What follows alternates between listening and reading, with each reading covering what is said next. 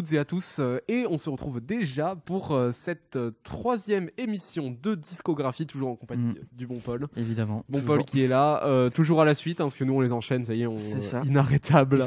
Est-ce qu'on leur avait promis quelque chose au dernier épisode Non, pas du tout. en Non, fait, on n'avait crois rien promis. On n'avait rien teasé. Alors, euh, qu'avons-nous au programme de cet épisode aujourd'hui, Paul? Eh ben, on a deux vinyles plutôt rares pour une fois. Qui sont Là, là c'est le l'épisode où on va vous envoyer des paillettes, on vous envoie au paradis, le, C'est ça, c'est- le Las Vegas des ça. vinyles. Et donc on a du TV Girl, donc un groupe euh, de Los Angeles, et on a du Growlers, qui est aussi un groupe de Los Angeles. Voilà. 100% américain aujourd'hui.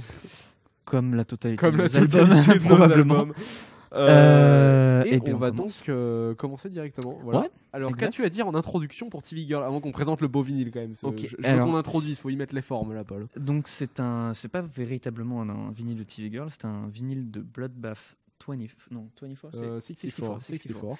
qui est le projet à part des membres de TV Girl. Donc ce n'est pas TV Girl, c'est un autre groupe euh, exceptionnel pour faire de la synthwave, qui est un qui est un style de musique assez particulier, relax, euh, Je pas mal basé la house, tu vois, à la base. Non, Et non, je crois que c'est synthwave. Bah oui, non, mais je, je, je, je te crois là-dessus. Et puis, puis voilà, donc c'est un projet à part. On a réussi à choper du coup euh, deux copies de, de cet album qui s'appelle Aesthetica Delica. Voilà, ce qu'il faut savoir que euh, l'édition qu'on a, il y en a 175 dans le monde, on en a deux. Voilà, l'instant l'instant flex. L'instant flex, on en a deux. Euh, Exactement, on, a dû faire, on a dû faire la queue et speedrun. Voilà, on a dû batailler, on a dû batailler pour l'avoir. Alors, ce qu'il faut savoir, c'est qu'à la base, on voulait avoir l'édition de cet album où il y en avait que 25. C'était le Wax Mage. Euh, il est parti en 30 secondes. Voilà, Ouais, 30 là, là, on a- même nous, on n'était pas, euh, on n'était pas capable. Donc, on, a eu le niveau. deuxième qui, lui, est parti en 5 minutes, je crois. Ouais, à peu près. Ouais, ouais. 5 minutes. Et après, qui euh, voilà. Paul a aussi l'édition classique qu'il n'a pas euh, emmené aujourd'hui. Parce que je qui, suis elle, un euh, débile voilà, mental, qui- mais qui, voilà. elle est partie en 8 minutes. Enfin bref, c'était un peu la, la ravage pour ces albums. Et donc, on va pouvoir euh, directement vous les présenter. Je propose qu'on en prenne un chacun. C'est quand même. euh, Ah, allez, c'est vrai. Donc ce sont les mêmes, hein, ce sont exactement les mêmes. Et voilà. euh, Peut-être montre l'autre cam. Bonjour. Voilà, bonjour. Euh, on veut donc vous présenter ce magnifique euh, album qui, euh, qui s'appelle Aesthetica Delica euh, de Bloodbath 64. Et euh, voilà, déjà Publié merveilleuse par couverture. Vinyl d'ailleurs, aussi au cas où. Ouais, Voilà. publié par Sly Vinyl. Merveilleuse couverture, voilà, on peut distinguer un beau crâne rose. Mhm. Et euh, je vais vous montrer le l'arrière du vinyle. Est-ce que tu veux pas que je te tienne le micro tiens? Non mais c'est bon, ça va, tu vois. Pour l'instant, quand il Bah faudra l'ouvrir, par contre, ouais. Ouais.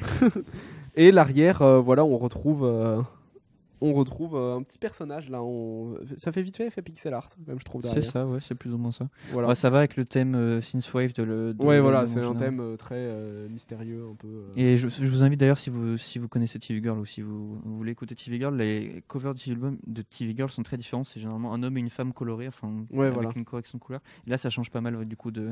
Ouais, vraiment de grosse séparation de style par rapport à ce qu'ils font immédiatement. Et Exactement. maintenant, on va vous, vous montrer le plus intéressant. C'est là que je vais te demander de me tenir le micro, Paul.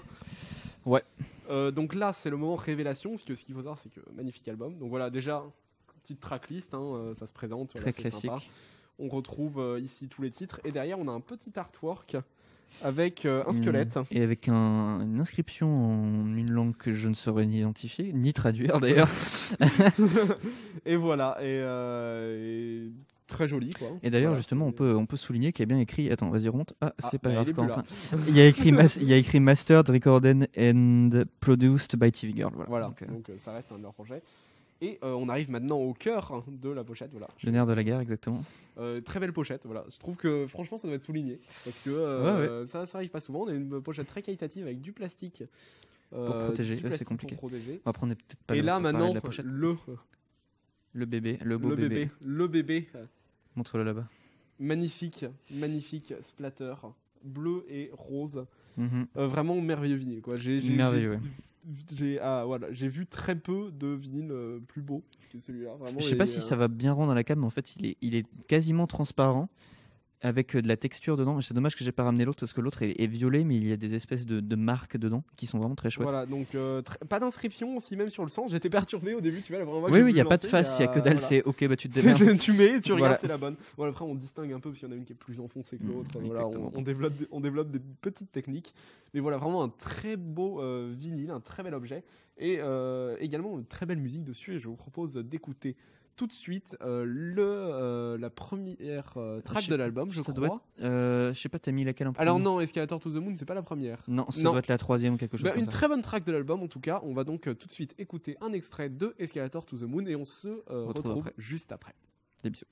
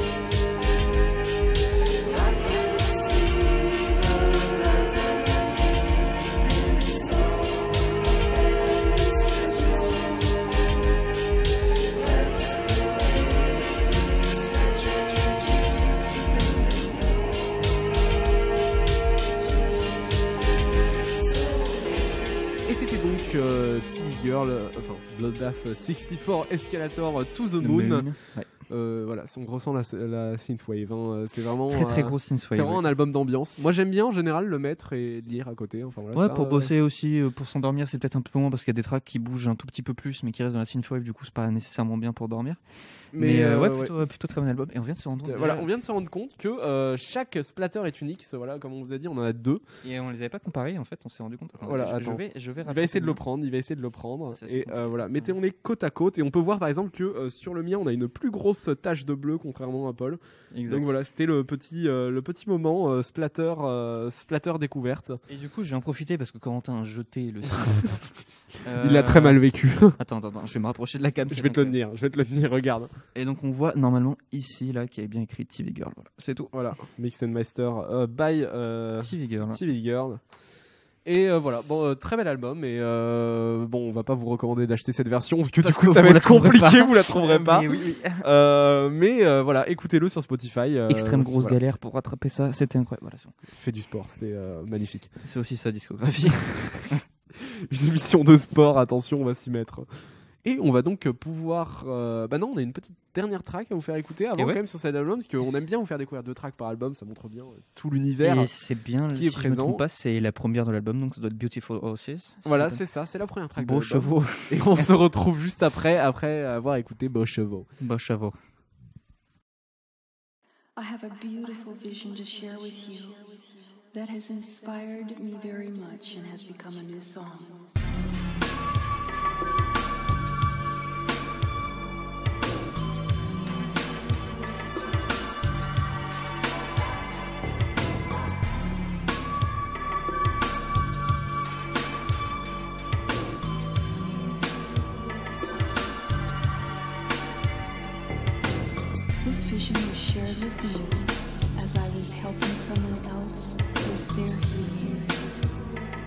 It involves many cultures. It is global in its true message. It is not one that I personally experienced, although I have experienced. Et ben voilà, c'était un extrait de Beautiful Horses, du coup. Et on va pouvoir passer à notre deuxième présentation de vinyle, si je ne me trompe pas. Voilà, car euh, là, ce qu'il faut savoir, c'est que ce vinyle, donc c'est d'ailleurs, euh, c'est mon coup de cœur, euh, enfin mon coup de cœur album des Growlers. Et je pense que Paul, ce serait te faire un extrême honneur que tu nous parles un peu des Growlers. Exactement, ouais, donc c'est voilà, de- sa vie. Il faut se. C'est l'un de mes, effectivement, c'est l'un de mes groupes préférés euh, de par leurs différentes créations, même si en ce moment ils sont dans une période un petit peu compliquée, on va dire. Euh, Mais ouais, ouais, ouais, du coup, là, on va vous présenter un album qui est l'un des plus rares qu'on ait, si ce n'est le plus rare qu'on ait en fait. Qui, donc, c'est un album de Not Psych, qui est donc un peu compliqué à expliquer, mais donc il y a deux versions de cet album. Une qui s'appelle Voilà, Gilded Pleasures, qui est sorti euh, uniquement voilà, aux la, US. la couverture est classique hein, de cette ça. édition. Donc euh. ça, c'est l'édition qui est sortie uniquement en Angleterre. Donc c'est pour ça que l'album s'appelle Not Psych. Et aux États-Unis, il est sorti sous un autre nom qui s'appelle Gilded Pleasures. Et ce sont pas du tout les mêmes albums. Et donc c'est les mêmes sons. C'est les mêmes sons, c'est les mêmes- pas les mêmes différentes, covers. C'est pas les mêmes covers, et les... mais c'est exactement la c'est même son. différents, différences de branding, mais c'est le même produit derrière. Exactement. Et, euh, et celui-là, et donc, il a une particularité, c'est qu'il est vert et il y en a vraiment pas beaucoup. Et du coup, il est devenu, il est assez cher. Voilà, très très est- rare, très très cher. Ça doit être le plus, euh, le plus beau et le plus, enfin non, le plus beau, le, plus- non. le plus cher, le plus le cher qu'on ait. plus, le plus rare et le plus cher qu'on a, effectivement. Voilà, Bah, donc on va vous faire une sortir, petite ouais. découverte. Est-ce que je peux avoir une tenue de micro de, oui. de compète? T'inquiète. Mon acolyte Paul. donc voilà, donc euh, ici une petite pochette de, bah, de style classique. hein, c'est une pochette blanche, quoi. Et voici la bête.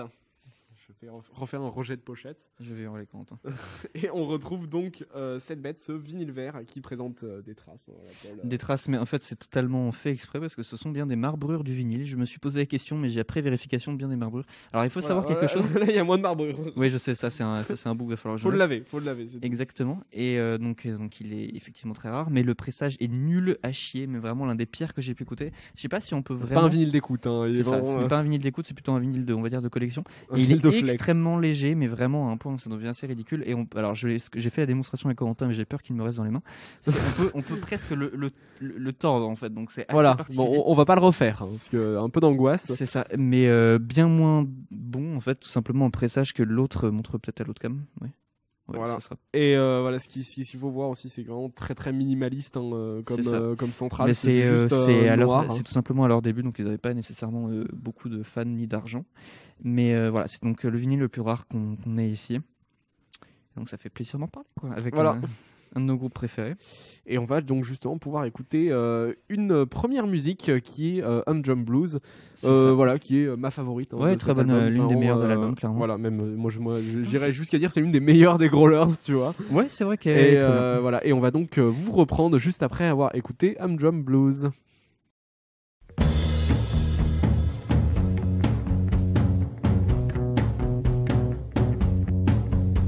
A couple thousand days full of every emotion. It's enough to know a woman as much as a man can, but still don't quite feel it's the proper devotion to ensure that we can both withstand all of the distractions. So hard to keep your head from out of the clouds. She'll never have a satisfaction. Unless you're sure that we're both strapped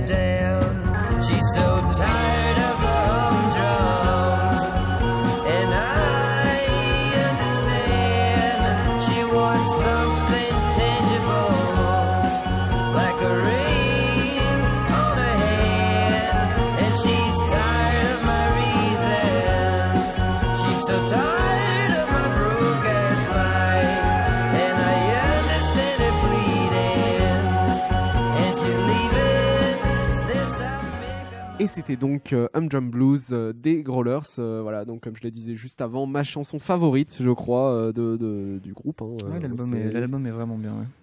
Voilà, et C'est un EP du coup cette fois, ce n'est pas un LP. Un LP, donc ça, on va juste expliquer un peu peut-être. C'est environ 12 chansons, donc c'est plus long. Et là, c'est Mhm. un EP, du coup, c'est environ 6 chansons.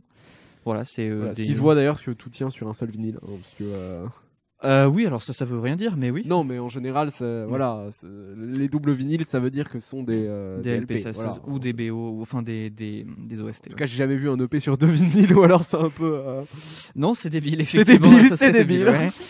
Et, euh, et puis, et puis voilà, tout simplement. des petites réalisations comme ça, des fois. On en parlait en off avec Corentin et il me disait c'est vrai donc je l'ai trouvé sur le bon coin euh, de quelqu'un qui n'avait qui ne connaissait pas sa valeur et euh, donc qui, qui a accepté de me le vendre. Ouais, donc, Euh, Petit tips discographie. Si vous voulez des vinyles rares pour pas cher, allez sur le Bon Coin. Les gens ne connaissent pas la valeur des vinyles là-bas. C'est vrai que c'est c'est vrai que généralement ils sont ils sont beaucoup beaucoup moins chers que ce qu'on peut T'en trouver eu sur les combien marchés comme ça? spécialisés. 2-3 non? 2-3 vinyles? 2-3, j'ai un- également un 7 pouces de Someday des Strokes qui est assez rare que j'ai trouvé sur le bon coin aussi pour vraiment pas cher par rapport à ce qu'il vaut. Et c'est vraiment le tips qu'on peut vous donner c'est regarder Vinted et, euh, et le bon coin. C'est vraiment les lieux où vous pouvez trouver des vinyles vraiment rares pour pas très cher parce Voilà, que les gens c'est- généralement font pas attention. Faut guetter. Oui, c'est ça. Voilà. C'est soit des gens qui veulent vendre rapidement, qui trouvent dans un coin et qui connaissent pas la valeur, ils mettent au prix d'un vinyle, quoi. Oui, c'est ça, oui, c'est ça. Et même, euh, même ceux qui connaissent le groupe, ils connaissent nécessaire- pas nécessairement le, le marché en général. Même Mm, si nous, on ouais. ne connaît pas, mais bon, on regarde les prix sur Discogs, on se dit, ah, celui-là, il est cher. Ah, euh, Ah, celui-là, il n'y en a pas 400 euros. Très bien, j'achète. mais euh, voilà, donc c'était euh, notre petit conseil, euh, conseil conso de vinyle. Et donc, Et on voilà. a un deuxième morceau. Et mais avant, juste pour revenir musique, c'était Oui.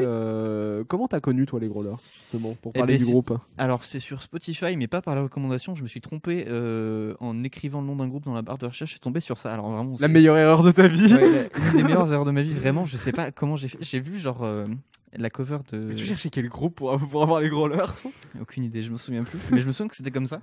Et j'ai- je suis tombé sur un de leurs morceaux. Ça devait être.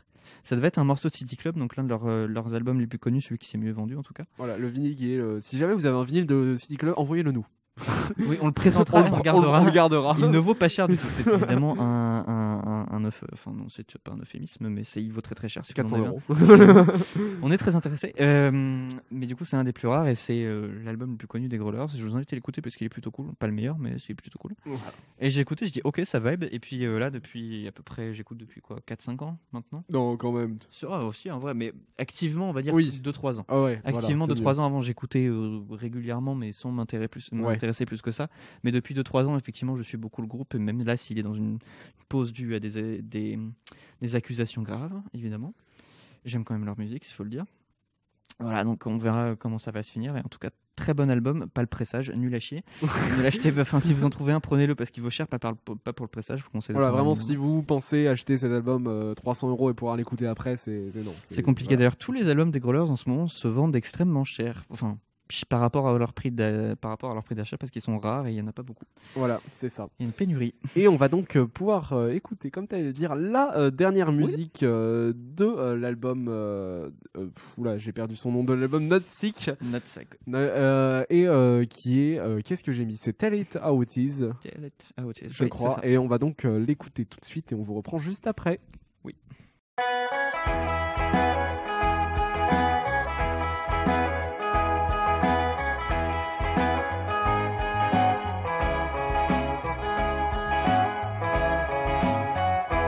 If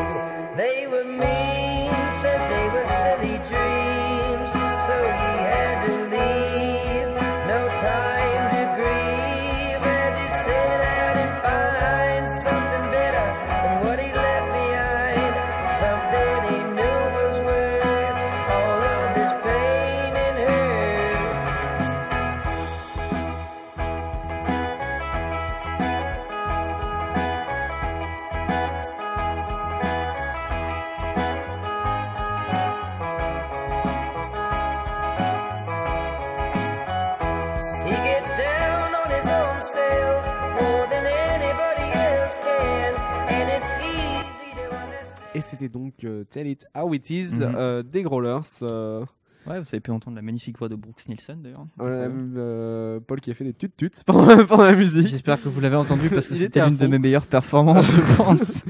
Et euh, voilà, parce qu'on a, on a des, des musiciens quoi, dans la, dans la discographie. Ah, très très clairement, hein, des, des mélomanes euh, confirmés. Et, euh, et voilà, bah, c'était un petit aperçu des Growlers. On reviendra dessus parce qu'on a, on a d'autres albums, deux à vous présenter. Euh, ouais, quelques un 7 pouces en fait. Parce Voilà, que c'est quelques, pouces, et puis, ouais. euh, et puis Nature le faire, voilà. on va en Qu'on reparler. vous euh, présentera euh, dans un autre épisode. Et ça va être tout, je crois, euh, Mhm. pour cette émission de discographie. C'était déjà fini. mais alors, C'est ça, merci de nous avoir euh, suivis pour euh, ce troisième épisode. Et on va se retrouver euh, dans le Eh, prochain. mais qu'est-ce qu'on a à la prochaine, si je dis pas de bêtises on... Alors attendez, je regarde notre table de préparation au fond. Alors je dirais qu'on a... Si, oui, je sais, on a l'OST d'Euphoria et...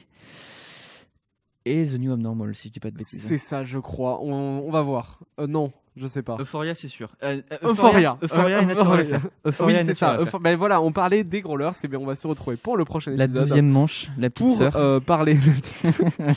on, va se, on va se retrouver dans le prochain épisode pour, pour parler euh, du dernier album des Growlers et d'Euphoria. Et on se dit donc euh, à la prochaine fois. Eh oui. Bisous, Salut. bisous.